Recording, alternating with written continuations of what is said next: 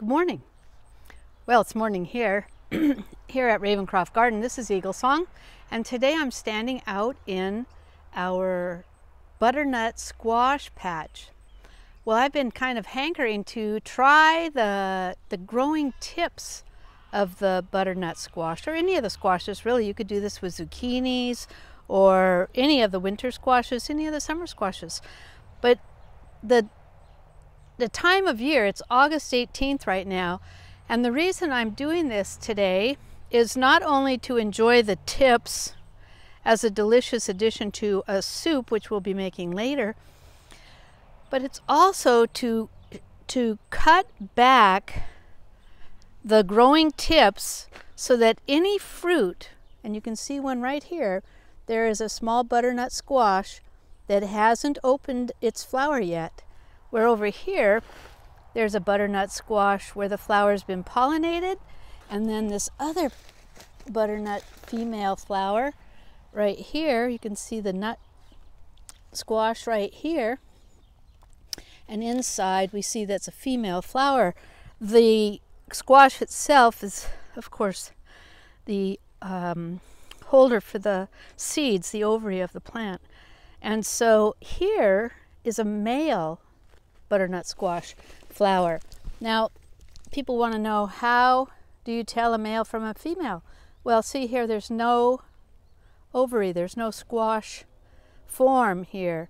And the male flowers are often used as uh, for stuffing, stuffing with, we love putting chev cheese in them. We make that with our goat milk here. And so the, um, the squash the flowers, the leaves, and the growing tips are all edible. So because I know there are a lot of squash forming in here, one reason I know that is I took a little trip inside the, the um, patch this morning and found lots of squash in here that are getting ready. So, you know, we're just a family of two, so now is a good time to cut back the growing tips, harvest them for food, use some of the young leaves in our soup, use some of the male flowers, although it was hard to find male flowers today, and, and stop the growth of the vine so the female fruits have a chance to uh, mature and ripen.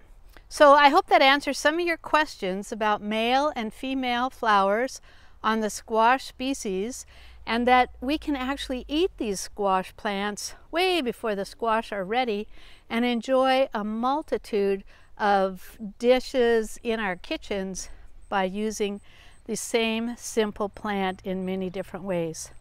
So come see us over at eaglesong-gardener.com.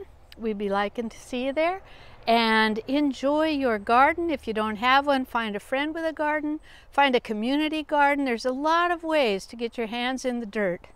And one of them is over here at eaglesong-gardener.com. See you there.